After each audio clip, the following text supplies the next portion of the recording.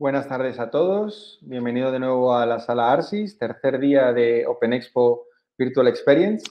En el día de hoy os voy a recordar la jornada que vamos a tener. Ahora a las 4 tendremos a Miguel de Vaz entrevistando a Gerardo Bustos Pretel.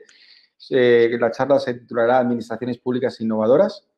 Luego Laura Raya tendrá una ponencia titulada Análisis y visualización de datos científicos a través de la realidad virtual. A las seis, Miguel Estapé nos contará héroes y villanos de la transformación digital de la administración en tiempos del COVID-19. Y para finalizar, a las siete, Alberto Gómez Toribio con DEFI, los felices años 90. Recordaros que las charlas tendrán una duración aproximada de 30 minutos, dejando 10 a 15 minutos para, preguntas y respuestas. Las preguntas y respuestas, las preguntas, respuestas las tendremos en vivo, pero las preguntas las, las podéis ir poniendo en la pestaña a la derecha del todo que tenéis Q&A o levantando la mano y a lo mejor os podemos dar eh, espacio para preguntar directamente dentro del, escenario o a través del chat. Lo que sucede es que a través del chat a veces que nos vemos y, es un poco más, más difícil. No obstante, siempre queda que eh, al final de las charlas los ponentes se irán a eh, una mesa virtual denominada Q&A, donde también podéis interactuar con ellos y, hacerle más preguntas si queréis. Eh, por último, recordaros que entre charla y charla disponéis de unos 15 minutos para hacer en el working en las mesas en las que estáis. Solamente tenéis que activar vuestro micrófono y cámara para que los demás os puedan escuchar y, ver. Bien, eh, para dar inicio entonces a la sesión de hoy, eh, invito por favor Miguel y Gerardo, si podéis subir al escenario, activando vuestro micrófono y cámara. Ahí te tengo, Miguel. El micrófono, perfecto. Falta Gerardo. Buenas tardes. Buenas tardes. Eh, un segundo, que a lo mejor tengo que activar yo a, Gerardo. Ahí está Gerardo. Buenas tardes. Buenas tardes, Gerardo, ¿qué tal? Bueno, como os decía, la charla de hoy, Administraciones Públicas Innovadoras. Miguel de Vaz es fundador del Club de Innovación, portal de referencia en innovación para la Administración Pública, la Administración Electrónica, y Gerardo Bustos es subdirector general de Información, Documentación y Publicaciones del Ministerio de Hacienda. No os robo más, me bajo del escenario y aquí os dejo. Muy bien.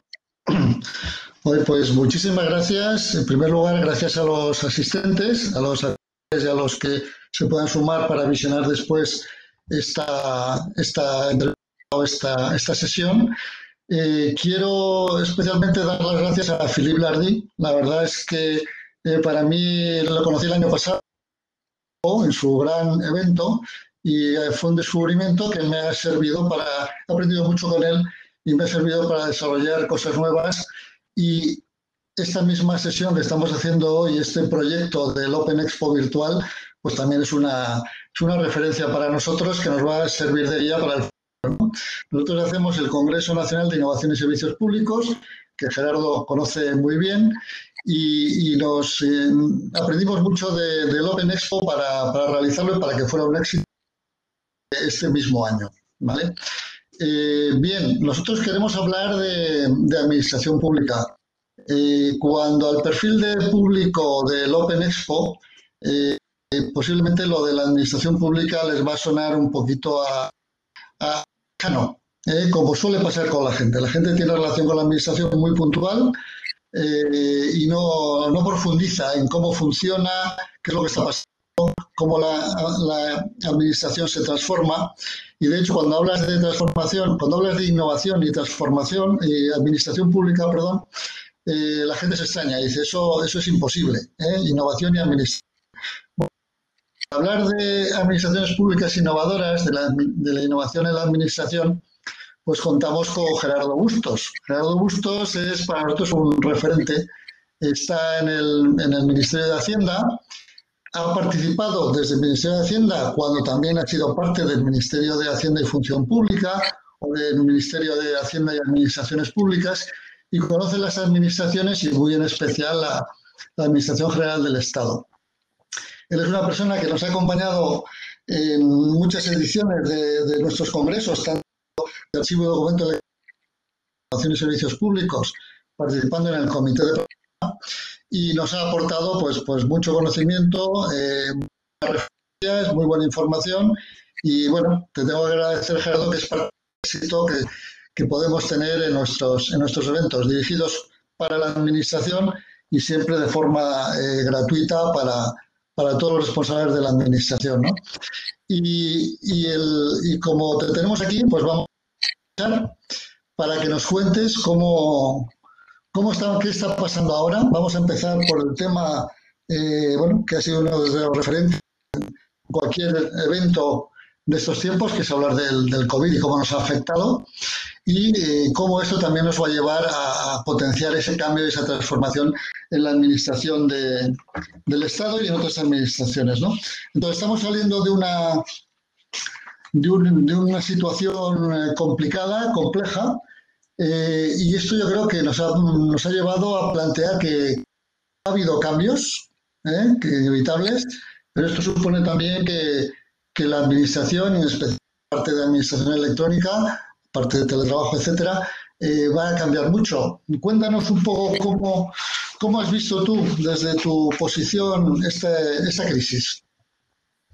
Bueno, esta crisis, visto desde la parte, es decir, si, si nos abstraemos de lo que es eh, una epidemia con unas situaciones graves y, una enfermedad y fallecimientos y tal, ¿no? Quiero decir que si salimos de lo que es eso, lo que ha sido, nos metemos lo que es en la gestión, realmente ha sido una prueba de fuego para lo que es administración electrónica. Base de que si no hubiera habido administración electrónica hasta el nivel que la tengamos desarrollado, y hemos visto que realmente está bastante desarrollada, eh, si no hubiera habido esa administración electrónica, el confinamiento hubiera supuesto una y vámonos. O sea, y ya volveremos cuando se pueda, ¿no? Entonces, todo lo que se haya hecho en estos momentos, eh, pero estamos hablando una figura como la gestión de los ERTES, que han sido, digamos, una pieza fundamental en el tratamiento de la crisis económica, es pura administración electrónica, por ejemplo, ¿no? Y además alguna figura nueva de la noche a la mañana, por poner un ejemplo así como muy concreto. El resto de las administraciones, todas han estado funcionando al nivel que han podido y los medios que se ha podido, teniendo en cuenta que además ha sido de la noche a la mañana, ¿no? Es decir, que de pronto un día cerramos y decimos, vamos a responder con, con, administración electrónica como se pueda y esto se pueda, ¿no? Y ha habido, bueno, pues un, un funcionamiento de lo imprescindible. Bien, esto digo que es una especie de test de estrés para la administración electrónica, una prueba de fuego. De... Esto no se podría haber organizado, porque dice, vamos a hacer un simulacro y tal, y este, este simulacro de tres meses y con esto, claro, es imposible, ¿no? Entre otras cosas por el costo que tiene. Pero Claro, como ha ocurrido, entonces lo hemos visto y entonces lo que es un, digamos, eh, yo creo que el balance es positivo, eh, ha funcionado, se ha mantenido un hilo de funcionamiento mínimo bastante, bastante aceptable eh, y se ha generado un cambio de cultura y probablemente eso será uno de los aspectos que más iremos viendo en los próximos tiempos, porque toda la barrera cultural que tenía la administración electrónica, tenemos en cuenta que la administración electrónica teníamos unas leyes que las impulsaba, había unas herramientas, eh, teníamos más o menos todos los ingredientes, o casi todos, menos el planteamiento cultural, ¿no? Es decir, la, reacción al cambio, esto es muy difícil de, vencer en un cambio de paradigma como es la, administración electrónica. Y es que esa barrera cultural, ese cambio cultural, de alguna manera se ha producido, porque yo siempre pongo el ejemplo digo, Hombre, cuando alguien se opone mucho a esto del teletrabajo, de la administración electrónica y tal, dice, dile, y es del sector público, y digo, dile que ha seguido cobrando su nómina gracias a que la administración electrónica ha funcionado y el teletrabajo ha funcionado durante este tiempo, ¿no? Entonces, a partir de ahí le invitamos a que sea un poco sensible al cambio cultural, ¿no? Sí. Oye, entonces, Este, esto que ha pasado, cómo nos va a afectar en esta transformación digital que, por la que tanto los innovadores públicos, tú y tanta gente eh, lucha, a veces contra corriente eh, y contra pues, los, propios sistemas. Pues sí. Bueno, eh, precisamente esto yo creo que es lo que, lo que comentaba, lo que nos va a ayudar es a, a, que sea un poco menos contracorriente, ¿no? Estamos viendo ahora cómo los péndulos, y más en este país que es muy pasional, los péndulos se van a un lado totalmente y después luego se van al otro y vuelven. Entonces, eh, yo creo que encontraremos el equilibrio, ¿no? O sea, porque, eh, digamos, el exceso ahora mismo de decir, ya todo electrónico, teletrabajo y tal, sería tan negativo como sería negativo el poner barreras y no, y no, y no seguir este camino, ¿no? Pero lo bueno, que, como decía antes, es que este cambio cultural nos va a ayudar a digerirlo, a entenderlo bien, a superar esas barreras que había, eh, realmente hemos salido adelante. Yo creo que el balance es, es muy positivo porque la alternativa de no haber tenido en marcha lo que tenemos en marcha la administración electrónica, la, alternativa era cero, es decir, el, el, apagón total, ¿no? Realmente hubiera sido inviable, eh, hubiera tenido que seguir saliendo mucha más gente. Pensemos ahora mismo en frío la de vidas que se han ahorrado y la gestión económica, digamos, que se ha ahorrado gracias a la administración electrónica, ¿no? Es decir, la alternativa a esto hubiera sido mucha más gente saliendo porque era eh, totalmente imperioso, era imprescindible, con lo cual más contagios, más riesgos, más fallecimientos, más, eh, digamos, más eh, mayor la, la, pandemia, ¿no? El efecto de la pandemia.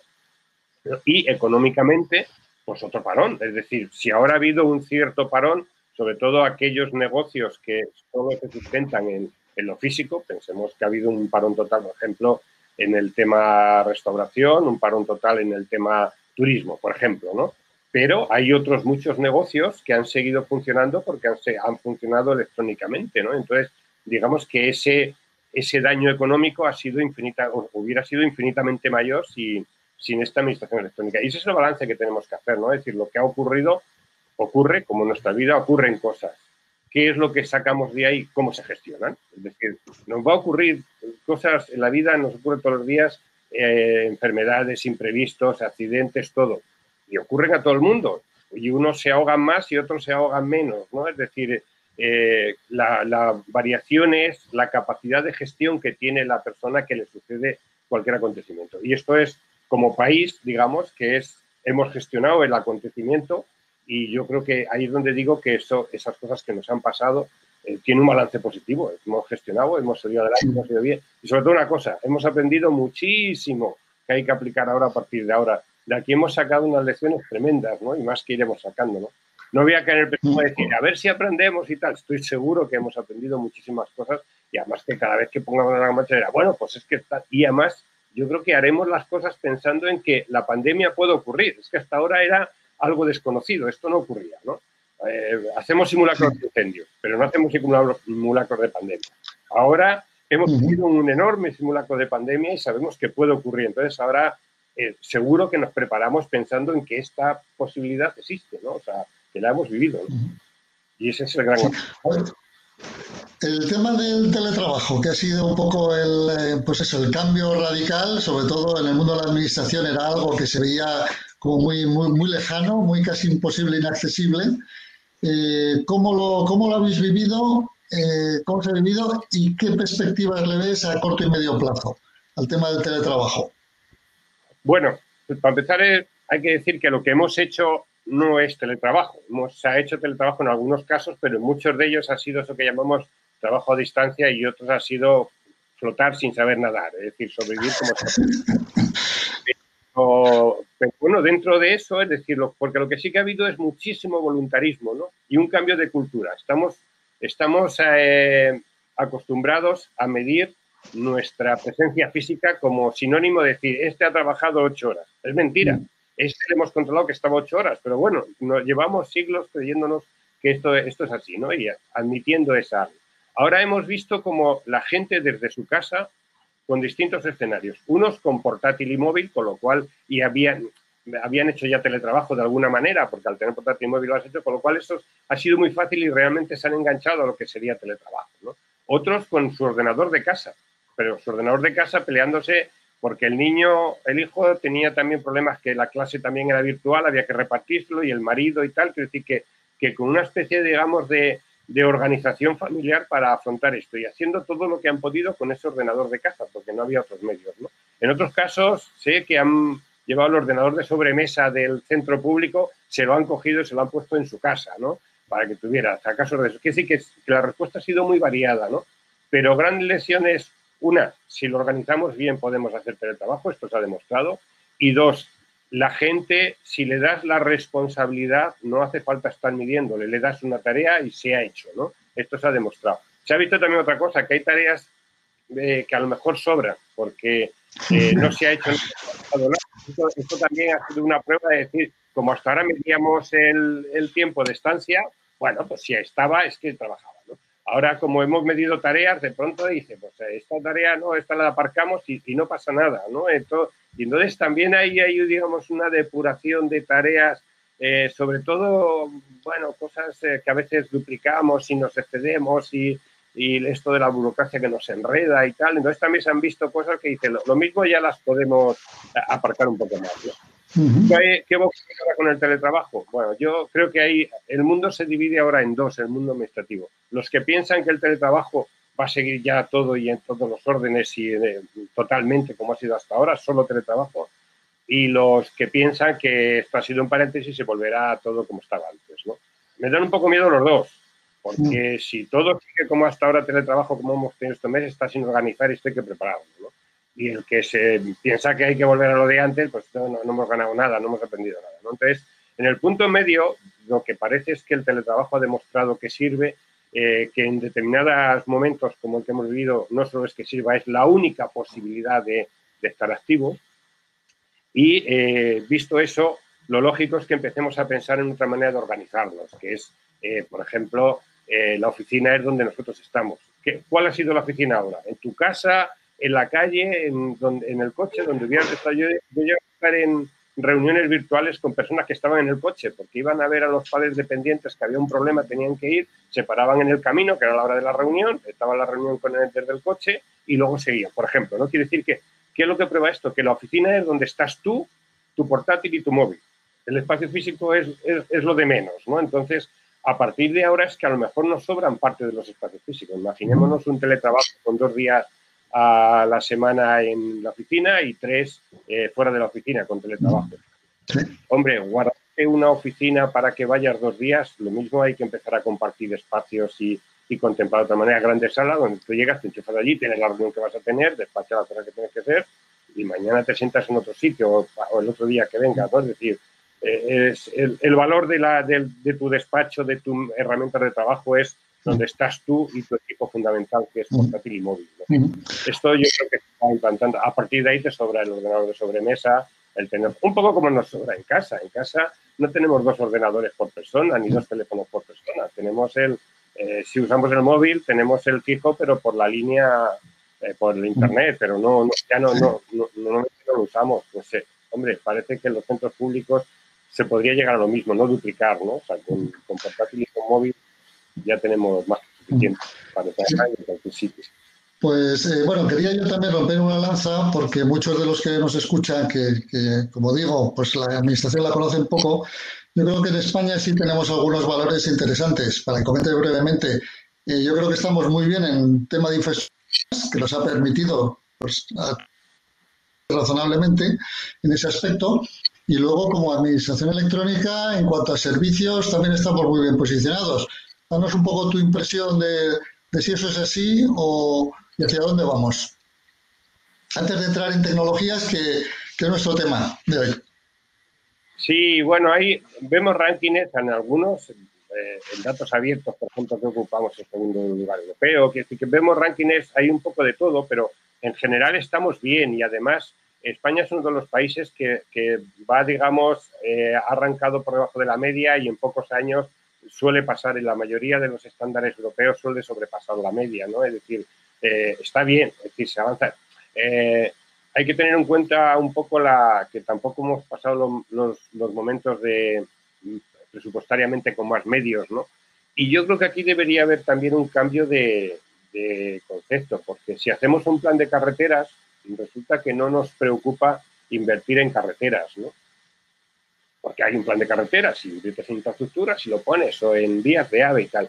Y sin embargo, tenemos un gran proyecto de transformación digital y casi, casi queremos hacerlo sin que nos cueste. Y decimos, y esto va luego mucho. Entonces, probablemente la gran infraestructuras en las que deberíamos invertir los próximos tiempos, y no hablo solo de equipos, que ahí nos, nos confundimos mucho, sino sobre todo de programas y de nuevas tecnologías, eh, yo creo que es, deberíamos poner el foco inversor durante un tiempo para que realmente la transformación digital, digamos, eh, pueda tener todo el impulso que, que, que, queremos que tenga, poner ese foco inversor en ese sentido, ¿no? Pero vamos, la evolución vista en los últimos años, si te ves, eh, te comparas eh, los compañeros que, que, tienen las reuniones en el entorno europeo, además, bueno, hay herramientas nuestras muy alabadas a nivel normativo, la normativa técnica de interoperabilidad por ejemplo, los niveles de interoperabilidad en España. O sea, son como muy reconocidos, ¿no? Son muy apreciados por, por tener, digamos, ese soporte tecnológico que necesitas para diseñar todo lo que es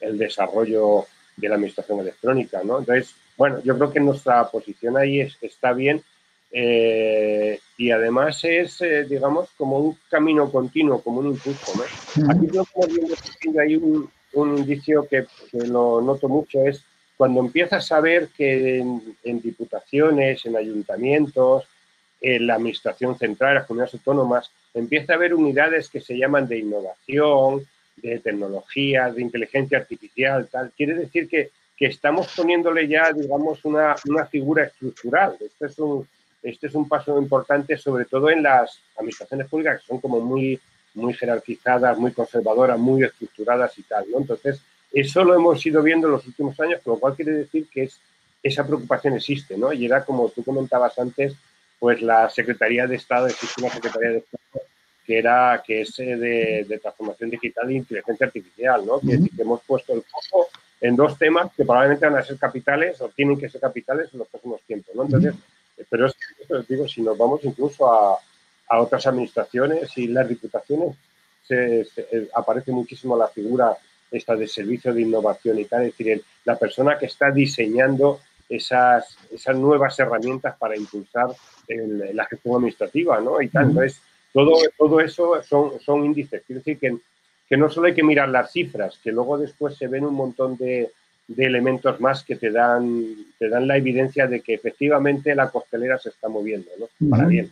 Sí, pues ahí yo quiero aprovechar para romper una lanza porque esta evolución de la administración pública, de la administración digital, tiene también que ver con el trabajo que las empresas que están apoyando, que están detrás, pues están, están haciendo que esto, que esto funcione.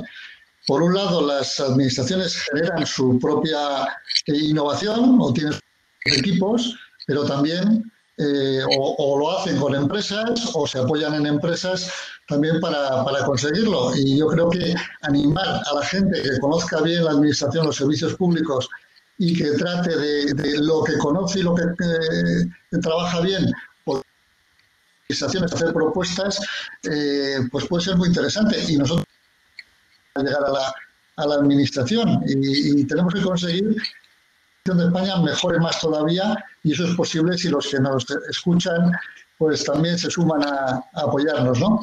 Oye, avanzando más, yo quiero hablar de por qué se ha avanzado. Una de las materias por las que se ha avanzado por la normativa, normativa que se ha venido implantando, quizá tarde, pero se ha venido implantando por fin, y nuevas normativas que se prevén. Y luego entraremos en la parte de qué tecnologías son las que estás viendo tú que se utilizan en la administración, pero eso luego. Primero, cuéntame un poco sobre las normativas que están moviendo todo esto. Bueno, hay una normativa, yo cuando me pregunta, dice, ¿cuál normativa disruptiva IT? Digo, la, lo que llamamos las leyes siamesas, las leyes 39-2015 y 40-2015, una de ellas procedimiento administrativo, es decir, relaciones del, de la administración con los ciudadanos, y la otra es de régimen jurídico, es decir, relaciones entre las administraciones. ¿no? Esas dos que nacieron juntas y como proyecto común, que tienen, hay un Real Decreto de Desarrollo de la Administración Electrónica que deriva de las dos, que, bueno, por entre los cambios eh, ministeriales y tal, al final no ha salido todavía, pero bueno, lleva, ahora mismo está, digamos, en su última fase y ha pasado varias veces, digamos, eh, estar a punto. Entonces, esa me parece la normativa más disruptiva por una razón, porque son las normas que nos dibujan, nos establecen que todo el funcionamiento de la administración española tiene que ser en electrónico. Ya no es que unas cosas sí, otras no, lo que se pueda y tal, es en electrónico.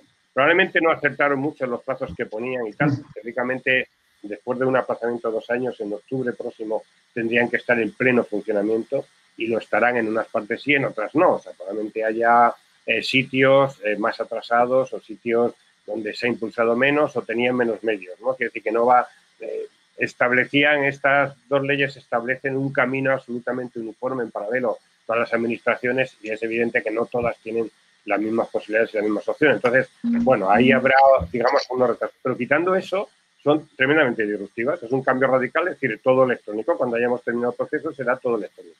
Y luego vemos ahora que empiezan a salir leyes a raíz de, de toda la nueva situación. Una de ellas es el teletrabajo, se está, se está hablando de una nueva ley de teletrabajo. hemos pasado del teletrabajo hubo algunos intentos allá por el 2006-2007 creo que fue, se quedó paralizado y hemos pasado incluso un poco de medio demonizarlo en el sector público, ahora de pronto verlo pues, pues como estamos viendo como la herramienta y tal, y entonces está apareciendo esa normativa. ¿no? Se está hablando también de una reforma de la, de la norma de función pública para la Administración General del Estado, eh, donde también se incluiría el tema teletrabajo. Yo creo que con un poco de error, porque se está concibiendo el teletrabajo exclusivamente como conciliación, y es verdad que es uno de los efectos, pero no es el único, ni tiene por qué ser el central. El central es que el teletrabajo, digamos, es se trabaja mejor, se produce más, es más productivo, es rentable y al final genera un mejor servicio para los ciudadanos, que es el foco.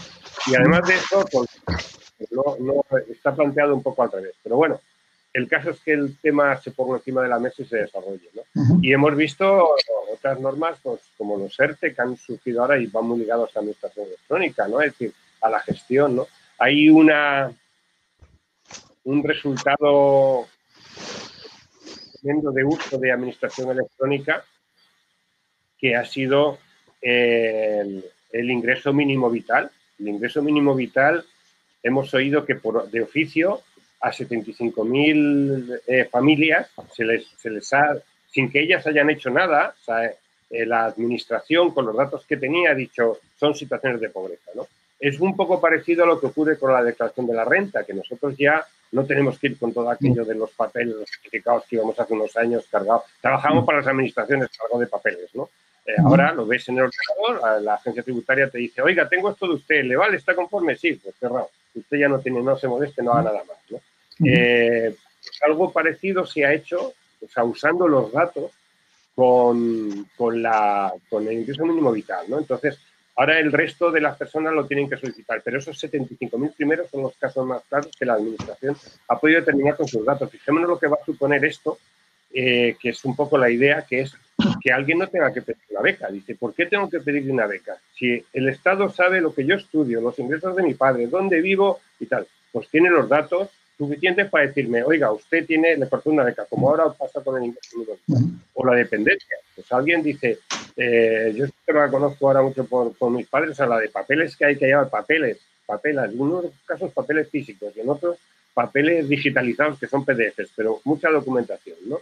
Y entonces lo que dice siempre, dice, a ver, usted tiene todos los datos de esta persona, una vez que evalúa qué grado de dependencia tiene, a partir de ahí no tiene que hacer nada más, usted tiene todo, cruce, entiendas entre las administraciones crucen los datos, ¿no?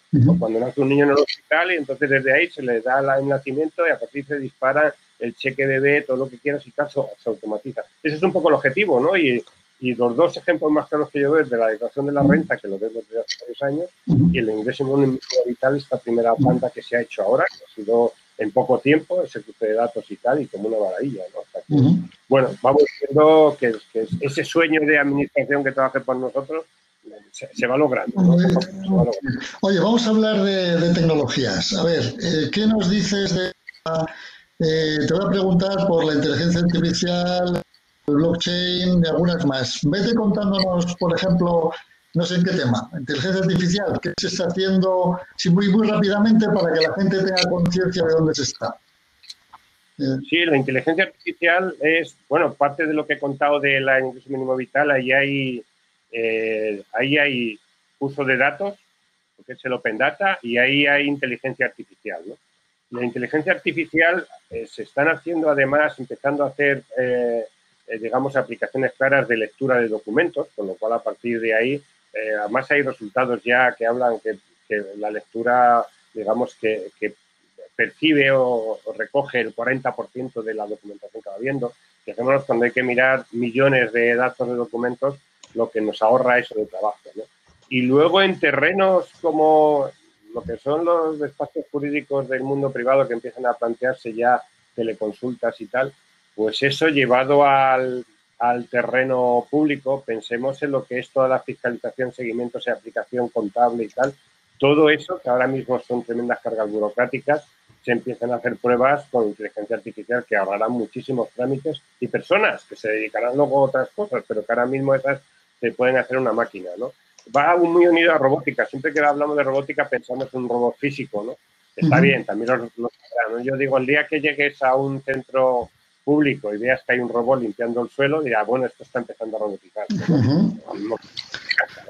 Oye, y... Eh, igual que hay físico, y como dicen algunos, tenemos robots compañeros de trabajo, hay otros robots que no son físicos, que son realmente programas inteligentes, no van muy ligados a la inteligencia artificial, que son los que nos están, digamos, facilitando la vida. Es que si, si pensamos, ahora vamos a coger un autobús y como esté estropeado el cartel que dice todos la, en la parada que no los minutos que falta para que llegue el próximo autobús, mm. nos enfadamos. Pero hace tres días. Sí, sí, es verdad. Inteligente de decirlo, oiga, le digo por dónde, cuánto falta para que llegue el autobús que usted está, esperando, ¿no? Y tal. Entonces, todo esto es aplicación de, inteligencia artificial, ¿no? Oye. pequeños robots que ya te empiezan a responder las preguntas frecuentes eh, son los que te, están haciendo la respuesta y que evitamos que se lo haga el, funcionario. Luego ya para que tiene un tema específica, necesita una especialidad, entonces sí, pero esa que solo es de procedimiento y rutinaria y tal, pues se la contesta el bot, el robot, ¿no? Oye, y, estás ahí cada... y en cuanto al blockchain, que tú, tú eres un aficionado a blockchain y crees que la administración va a tener mucho futuro. Cuéntanos un poquito tu visión. Bueno, lo que pasa es que blockchain todavía está en pañales. Es, siempre que queremos hablar de blockchain, comparamos, digo, mira, esto es como cuando Internet en los años 90, ¿no? Es decir, promete mucho, pero todavía está por vestir.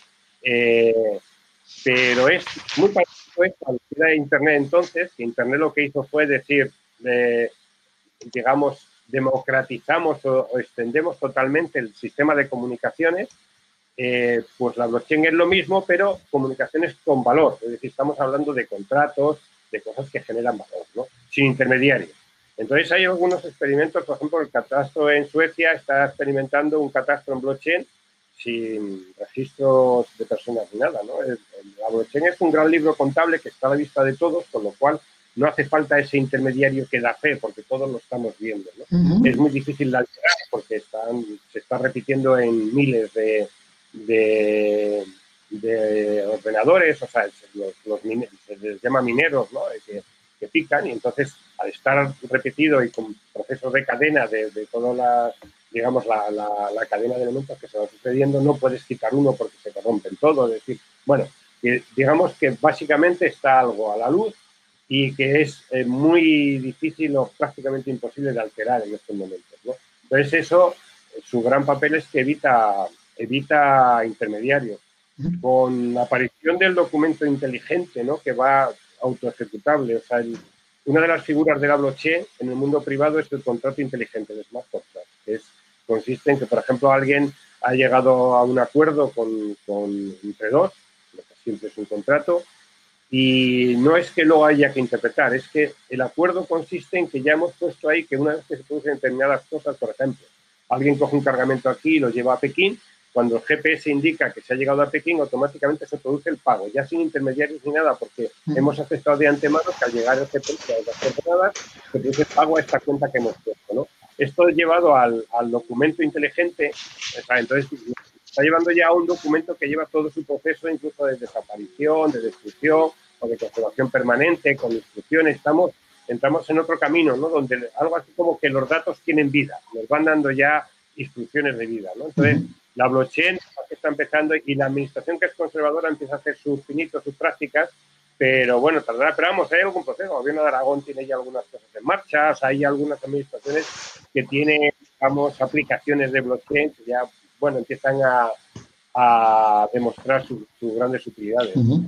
Oye, pues veo, estamos mal de tiempo, veo que, que eres un gran eso, aficionado al tema del blockchain y que eso acaba funcionando eh, va a funcionar para, para, las empresas, para la sociedad en general. ¿no? Eh, recomendar, como hay otra serie de temas, que podemos hablar del Big Data, podríamos hablar de, eh, del cloud, podríamos hablar de la identidad digital, donde se viene avanzando, podemos hablar de la contratación pública electrónica. Hay muchos temas de los que podemos comentar, pero como hoy no nos va a dar tiempo, a los, a los, a los asistentes a que igual que en el chat están viendo una serie de referencias de nuestro Congreso CENIS en el que Gerardo participado activamente en su, en su diseño de programa, eh, pues que podáis indagar qué está haciendo la Administración leyendo estas, estas noticias que hemos ido al chat y otras que hay pues en la misma, eh, en la misma web, ¿no? Y si quieres, mm, yo voy a aprovechar para poner en valor a los innovadores públicos. Eh, Gerardo Bustos es uno de ellos. Eh, el Club de Innovación, nuestra preocupación y ocupación desde hace mucho tiempo, apoyar a esas personas que creen que la administración puede funcionar de una manera diferente a lo que la sociedad en general entiende que está funcionando y que no tiene, que no tiene cabida, pero la innovación está muy activa y hay mucha gente. Y en honor y en homenaje a toda esa gente, pues eh, nosotros tenemos nuestro, eh, pues nuestra, nuestra idea de, que hay que potenciar todo lo que, lo que sea así. Quiero compartir la, la pantalla para que visualicéis un poquito desde dónde damos apoyo a esos innovadores públicos, desde dónde los que estáis en las empresas o en el mundo desarrollo, pues podéis encontrar información para aprender, conocer y aportar a las administraciones también cosas. Voy a compartir pantalla, no sé si eh, hay alguna pega, a ver, pestaña. Os voy a poner sencillamente para que veáis, eh, este es nuestro portal de Club de Innovación, ¿vale? Clubdeinnovación.es. ¿Sí? Te digo que esto es lo que tiene el directo, entonces compartes hasta la eso, no pasa nada. Bien, entonces, bueno, ahí tenemos muchas noticias y últimamente la verdad es que estamos súper activos en las noticias. Vais a poder ver buenas prácticas de todo tipo de administración. Nuestros 139 boletines de los últimos 139 meses, con toda la información, está ahí subida. Agradecemos a nuestros patrocinadores, por supuesto. Tenemos nuestra agenda donde se pueden ver, pues eso, entre virtuales hemos publicitado, eh, pues otra serie de, del encuentro nacional, etcétera. Bueno, muchas contribuciones, mucha gente que Nuestra blogosfera pública, etcétera, etcétera. También quiero compartiros lo que sería el boletín, nuestro boletín, con toda la, información cada mes, eh, donde os podéis apuntar gratuitamente y hacer un seguimiento y conocer así a las, a las administraciones. Y por otro lado, que conozcáis nuestro club de innovadores públicos, Aquí puedo, podéis visualizar el mapa de dónde están nuestros innovadores. Hablamos de 2.000 personas, ¿vale? Que han firmado su compromiso del innovador público y que, y que, bueno, las tenemos aquí identificadas y son las que están, estas y muchas más, están haciendo que sea realidad esto que venimos hablando al principio, de que la administración eh, pública pues, pues está, está, funcionando, está funcionando bien. Y esto es un poquito lo que os quería, eh, a ver, lo que no sé yo es, sí, ya estamos otra vez, ¿no? Entonces, eso, eh, quiero agradecer especialmente a Gerardo el, el, que nos haya acompañado eh, para darle este, este impulso, esta visión. Y no sé, Gerardo, ¿qué más nos puedes contar? ¿Qué opinión tienes tú de los innovadores en la administración? Ah, hay, hay más de los que pensamos. Lo que pasa es que la, administración el problema que tiene es que no es derrocha talentos, entonces tiene, claro, es que, a ver, la administración además es muy jerárquica, hay innovadores con un nivel 14, ¿no? Entonces, es, es, una, es una lástima que la administración no tenga unos mecanismos de comunicación interna, eh, interna más potenciados para que afloren esos talentos, ¿eh? pero tú con la gente que está, pones a rascar y mueves, primero, si planteas cosas de innovación se te sube mucha gente al carro, con lo cual ya eso es bueno, ¿no? y luego a veces intercambiando opiniones ves que de pronto hay pues un auxiliar, un jefe de servicio y tal, que tiene ideas de innovación, lo que pasa es que nadie las ha puesto en valor ni le ha dado la oportunidad de desarrollarla. Entonces, nada que impulsas un poco, lo hace el Yo ahí espero que el mecanismo de la administración de funcionamiento, esta, esta sensibilidad por la comunicación interna y el afloramiento de talentos se desarrolle más, ¿no? Porque es, es un desperdicio. Pero bueno, Tengamos en cuenta que la administración pone a alguien de director general un tiempo cuando tiene una gran experiencia, de pronto lo cesa y lo aparca y le faltan 20 años. Yo no sé qué decir que la administración es que derrocha talentos, ¿no? Una frase, o no aprovecha todos los talentos que podría aprovechar, ¿no? Pero vamos, la innovación es un gusanillo y cada vez más en las administraciones públicas y que existe, ¿no? O sea, es un, eh, de, la gente que menos te puedes pensar. O sea, es, es, digamos, que bueno, tú lo habrás visto cómo se te van apuntando año tras año y tal al club de innovación y tal, y se van subiendo al carro y los ves. Y además en esa, esa atalaya que tú tienes del Club de Innovación y los congresos tuyos, o sea, lo que vas haciendo precisamente es, es, un, es un casting de innovadores. O sea, tus congresos son casting de innovadores públicos, ¿no? y, entonces, y bueno, y ahí te ves efectivamente el potencial que hay, ¿no? Y la de, digamos, eh, proyectos innovadores que hay. Y, cuando te cuentan el cómo alguien tiene que hacer un proyecto de innovación, casi, casi engañando un poco, disfrazándolo en el entorno donde está, y eso sí, cuando ya sale y funciona, todos son los dueños del, del proyecto, ¿no? Pero el innovador público muchas veces funciona contracorriente, medio ocultándolo, sin sacarlo, no sea que parezca que hasta que ya la cosa sale, ¿no? Entonces, bueno, es una manera de, de trabajar difícil, ¿no? Igual que el innovador privado, pues arriesga dinero, el innovador público tiene que arriesgar otras cosas, a veces hasta su puesto, ¿no? Sí, sí. Oye, pues a ver, no sé si hay alguna pregunta. En principio estoy mirando el chat y bueno, ahí lo he llenado yo de información y no veo ninguna pregunta. Eh, mientras Hola. está alguien o Juan Carlos, a ver. Allí estoy nuestro, nuestro moderador. Muchas gracias. Preguntas no sé. El chat lo que sí está lleno es de respuestas ¿eh? para todo. Está ahora mismo es una fuente de información tremenda. A ver, una ya la, ya la abordasteis, que era eh, eh, la necesidad de la implantación de blockchain en la administración pública. Y luego hay otra pregunta, eh, ¿cuál es el país que consideráis que es referente en cuanto a, la, a, lo transformada que está la administración pública? ¿Creéis que hay colaboración y que se comparten experiencias entre países? Sí, hombre, hay, uno que es un clásico, que es Estonia, ¿no?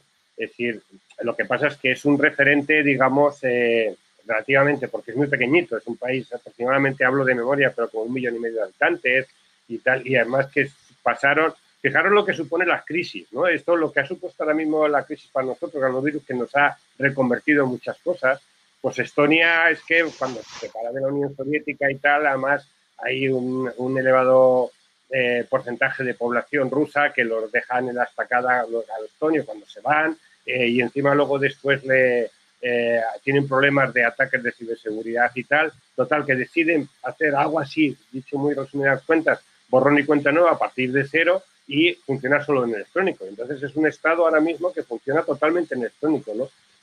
Es referente, digo relativo, porque es verdad que es todo electrónico, pero claro, un estado de un millón y medio de habitantes decimos que es que, eh, que, es la tercera parte de, de, Madrid, ¿no? O sea, de la población de Madrid, o eh, no sé, es que nosotros juntas dos o tres ciudades dormitorios y ya tienes una Estonia, ¿no? O sea, entonces, eh, claro, estamos hablando de, un volumen que es gobernable, ¿no? Pero bueno, es así, ¿no? Funcionan con una identidad digital, de hecho, cambió uno de los reales decretos de hace varios meses, cambió el tema, pero hay empresas españolas que no, no la identidad ciudadana, pero sí la identidad digital, sin pisar nunca Estonia, con la identidad digital crearon empresas que funcionan en España, Unión Europea, eh, creadas en Estonia con identidad digital Estonia, ¿no? Mm. Cuando yo lo vi, vi la noticia que había unas 500 empresas españolas aquí, ¿no? Entonces, ¿por qué? Porque aquí ya sabemos lo pesados que somos para poner en marcha una empresa en Estonia la tienes en 24 horas, ¿no? O sea, luego ya se hacen las comprobaciones, que esto es un poco lo que tenemos que aprender. Luego comprueba y pide y tal, pero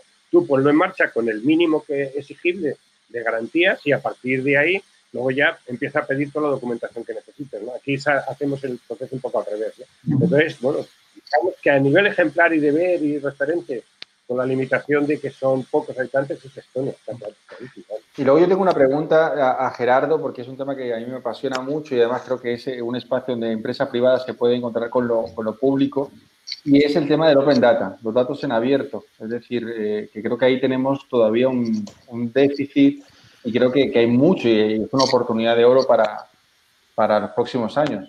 ¿Qué opinión tienes, Gerardo, con lo que tenemos que hacer o impulsar? Yo que me muevo mucho en el documento, creo que el siguiente paso es más el, el dato, ¿no? Es decir, eh, muchas de, bueno, he comentado antes el ejemplo del, de la declaración de la renta que se mueve a través de datos, eh, de lo que ha sido la gestión del ingreso mínimo vital, que ha sido igual, utilizando los datos, ¿no? Eh, los países que han funcionado mejor contra la pandemia, eh, uno de los elementos de las herramientas que se ha utilizado mucho es precisamente utilizar los datos seguimientos, incluso anonimizados, ver los comportamientos de las personas y ver dónde, digamos, se producían focos y tal. Es decir, los datos es como, bueno, que es el, el oro actual, es el mundo futuro, ¿no? Y entonces, eh, el Open Data además centra en lo que es la nueva filosofía en la que estamos, que es todo sea reutilizable, ¿no? Es decir, Es más, todos esos bienes que tiene la administración se han hecho con dinero público, con el dinero de todos, y lo lógico es que reviertan y vuelvan a la sociedad. Es decir, si, si una empresa, cualquier entidad puede sacar jugo a esos datos que tiene la administración, respetando, por supuesto, lo que es el tema de, de la protección de datos personales, bendito sea, lo tenemos que potenciar, es decir, toda aquella riqueza que revierte en bien de todos tiene que potenciarlo. Entonces, ahí el tema de datos yo creo que está por, por explotar, está todavía en pañales, pero bueno, como casi todo en este terreno, ¿no? Pero ese es probablemente uno de los que más, quizá menos conocidos por el gran público y tal, ¿no? Y no saben que realmente nos estamos gobernando cada vez más por, por datos, ¿no? Y esos datos, bueno, una, por ejemplo, una que lo tuvimos en uno de los congresos que ha mencionado Miguel, una de las experiencias que, que, ha habido recientemente es el Instituto Nacional de Estadística ha suprimido determinadas encuestas con todo lo que suponía de coste y tal por un contrato con los operadores telefónicos en España para que en varios días de muestra, que eran fines de semana, en verano, eh, días de, de, de, de, entrediario, es decir, un muestreo de datos para ver anonimizados el comportamiento de la gente, ¿no? Y dice, hombre, es muchísimo más valioso eso, digamos, mucho más eh, preciso Objetivo. con muchos de encuestas y desde luego menos, menos, más barato y con, digamos, con mucha más información. Entonces, todo eso tiene que ser luego reutilizable perfectamente por el sector privado. Es de todos, es que eso es de todos. Entonces, todo lo que genere riqueza tiene que ponerse ahí a disposición de todos, ¿no? Pero yo creo que esa filosofía cada vez está más implantada, ¿eh? Claro, es que hace no muchos años un funcionario hacía un documento y no se lo daba ni al de al lado, este es mío. Entonces, eh, sin embargo, ahora está clarísimo la, la filosofía de, la reutilización que tiene hasta su propia ley. O sea, es, es una manera de ver las cosas y decir, no es tuyo, lo has hecho con el dinero de todos estos, ¿no? Y de todos los ciudadanos. Y, si tú lo pones a disposición de revierte más eso. Quizá, claro, pero esto es bastante nuevo y además ha sido que de verdad que antes el sentido de propiedad para tres líneas que hubieras escrito tuyas estaba ahí puesto y joder, a que te lo dieran, ¿no? Porque si no, no eras imprescindible. Era una filosofía un poco diferente y tal, y eso ha cambiado radicalmente, ¿no? O sea, yo creo que son, la Data va a ser igual una de las fuentes de riqueza, ¿no? Es más, yo creo que tenemos que ir potenciando este tipo de, de, nuevas economías, de nuevas generaciones de negocio, ¿no? Hay que abrirse, ¿no? Me voy a meter con ningún negocio específico, solo que, sí que, aprovechemos los nuevos que van apareciendo, ¿no? Que los impulsemos, ¿no? Y este sin duda es uno de ellos. Pues yo me imagino que preguntas interesadamente y haces bien, pero no me parece. Y luego hay una cosa que es que lo que es tanto Pepata como todos los, digamos, todas las reutilizaciones que, que también estamos empezando a entender y no es imprescindible la colaboración público-privada. Es que mm. eh, no, estamos en el mismo barco desde distintas dimensiones, pero es, es la misma historia, ¿no? Entonces, eh, es una cosa que empieza a calar también y es, es importantísimo, ¿no? Es decir, no, no, son dos mundos aparte, no, no, son complementarios y además eh, en determinadas actuaciones como esta, ¿no? Es decir, la administración se lo pone y colabora luego en parte o el sector privado reutiliza, o sea, to, todo eso al final es riqueza y es subir el país, o sea, es, es el eh, trabajar conjuntamente, ¿no? A mí me parece que la colaboración público-privada es algo en lo que también antes no teníamos muy claro y que cada vez está como más implantada, afortunadamente. ¿no? Pues muchísimas gracias. Estoy, vamos más de tiempo ahora sí. Eh, invito a los participantes, a los asistentes, que podáis abordar a Gerardo y a Miguel Ángel en las salas virtuales cuando cierre la, la conferencia. Gerardo, Miguel, muchísimas gracias. Eh, una entrevista supremamente interesante y, habrá que buscar otro canal virtual para continuarla. Ahí continúa, eh, sí. A todos. Un placer. Muchas gracias a vosotros. Eh, os recuerdo que a las 5 empezamos la charla con Laura Raya, nos hace una ponencia, análisis y visualización de datos científicos a través de realidad virtual. Eso también pinta muy interesante. Venga, nos vemos dentro de un rato. Hasta Muchas luego. gracias. Hasta luego.